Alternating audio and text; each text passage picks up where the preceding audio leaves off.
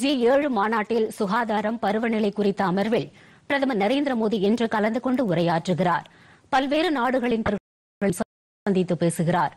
America Britain France Canada Germany Italy Japan ஆகிய நாடுகள் இடம்பெற்றுள்ள ஜி ஏழு அமைப்பின் இரண்டு நாள் உச்சி மாநாடு ஜெர்மனியில் நேற்று தொடங்கியது. இதில் சிறப்பு அழைப்பாளராக கலந்து கொள்வதற்காக பிரதமர் நரேந்திர மோடி நேற்று ஜெர்மனி தலைநகர் பெர்லின் சென்றடைந்தார். அப்போது அவருக்கு உற்சாக வரவேற்பு அளிக்கப்பட்டது. இதையடுத்து அர்ஜென்டினா அதிபர் ஆல்பர்டோ பெர்னாண்டஸை பிரதமர் சந்தித்து பேசினார்.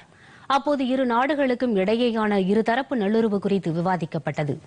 குறிப்பாக அரசியல் பொருளாதாரம் கலாச்சாரம் அறிவியல் மற்றும் தொழில்நுட்ப ஒத்துழைப்பு குறித்து விவாதிக்கப்பட்டதாக அதிகாரிகள் தெரிவித்துள்ளனர்.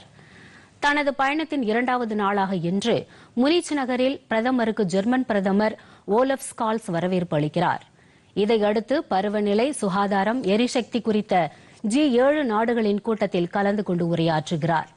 பின்னர் தென்னாப்பிரிக்க அதிபர் சிறில் ராமபோஷா ஜெர்மனி பிரதமர் ஓலஃப் ஸ்கால்ஸ் இந்தோனேஷிய அதிபர் ஜோகோ விடவுட்டோ ஆகியோரை தனித்தனியே சந்தித்து இருதரப்பு பேச்சு நடத்துகிறார்.